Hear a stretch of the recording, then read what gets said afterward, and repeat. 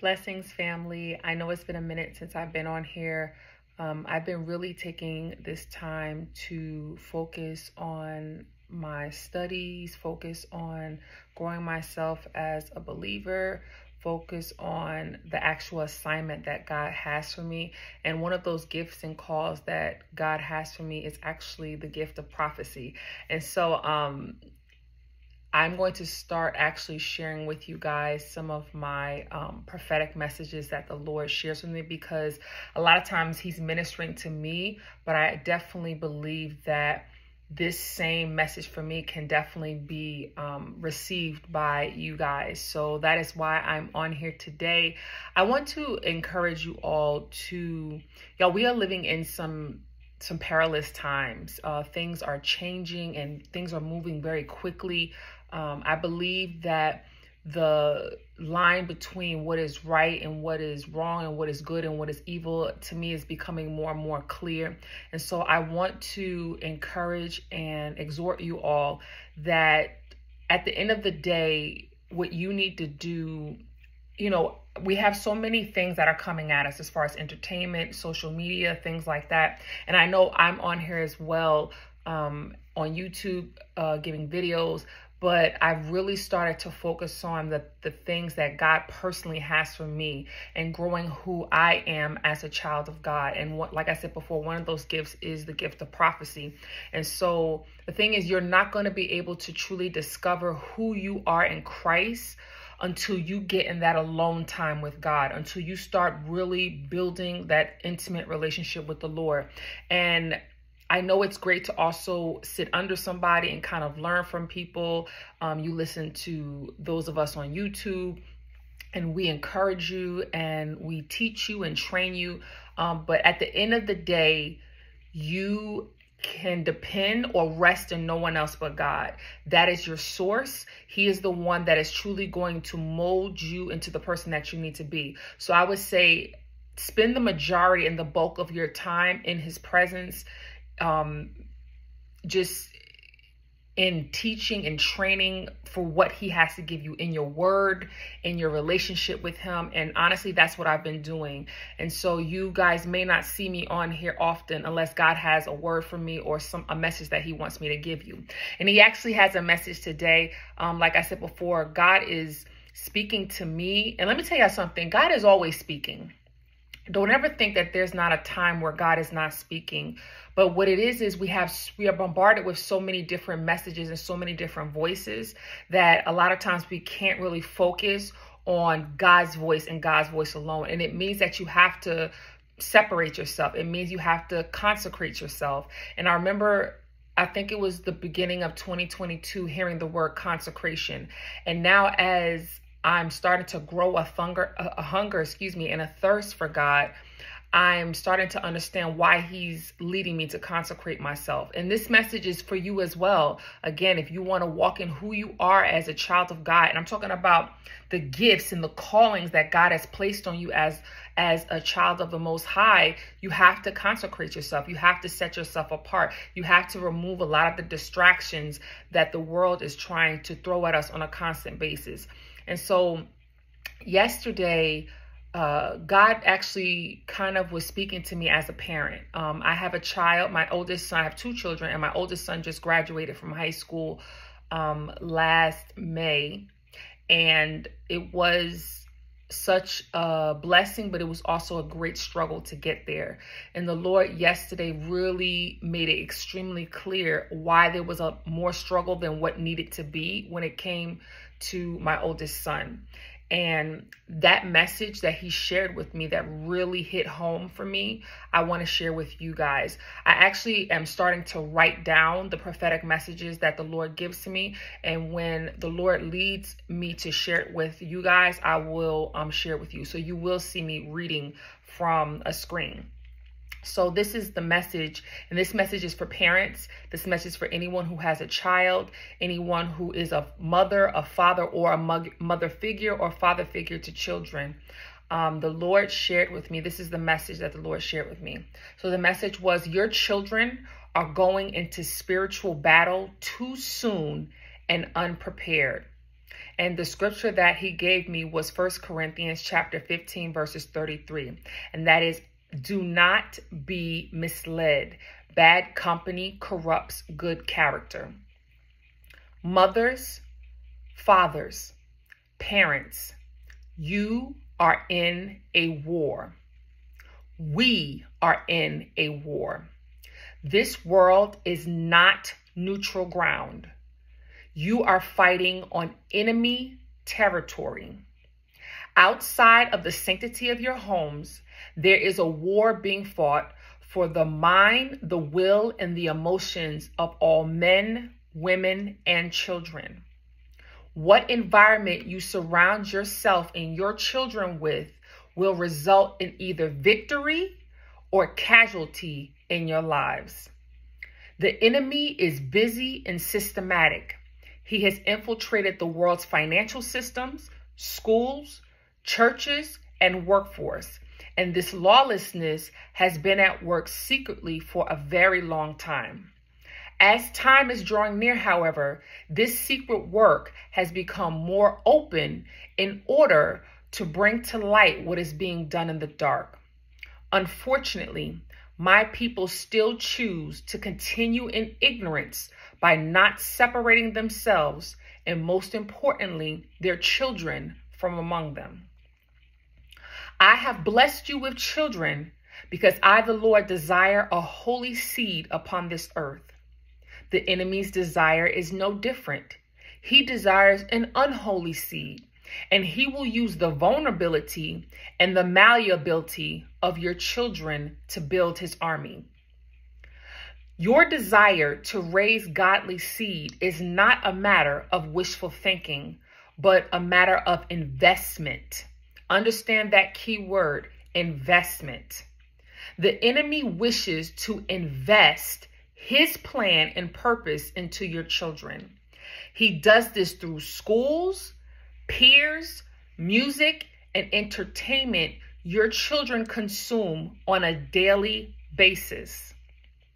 You need to ask yourself how much of God or Satan is being invested in your children. If your children go to a secular school, let's break this down into like math, okay? So that he, he wanted me to really see this investment on a more mathematical, more logic and practical scale. He said, if your children go to a secular school for eight hours a day, listen to secular music four hours a day, are on TikTok for four hours a day, are around their ungodly peers for eight to 10 hours a day, and yet go to church for two hours a week, which influence will be greater on your children, me or the world? My word says to train your children up in the way they should go, and when they are old, they will not depart from it. I want to make clear what does it mean to train? To train up means to give the necessary preparation so that a person will reach the standard required for a particular job or activity. Training requires three things time, separation, and exclusivity in order to properly prepare someone for a particular assignment. And family, you need to ask yourself who is doing the majority of the training of your children? My word says the kingdom of heaven suffers violence, and the violent take it by force. The enemy is not going to easily give up his schemes and his plans in order to just let you win. You have to fight. The enemy knows he has a short time left, and he has actually amped up his tactics and efforts. Whoever is caught off guard will be a casualty of war, regardless of whether they're my child or his. It says in my word that my people perish for their lack of knowledge. Not the enemy. They're already blind. God, the enemy's children are already blind. He has them already. But my word says, my people perish. He said, as long as the enemy knows you remain in ignorance, he will continue to steal, kill, and destroy you, your destinies, and the future of your generations. Wake up. You are in enemy territory. Satan is using your ignorance to corrupt and destroy your children. Pray. You need to pray.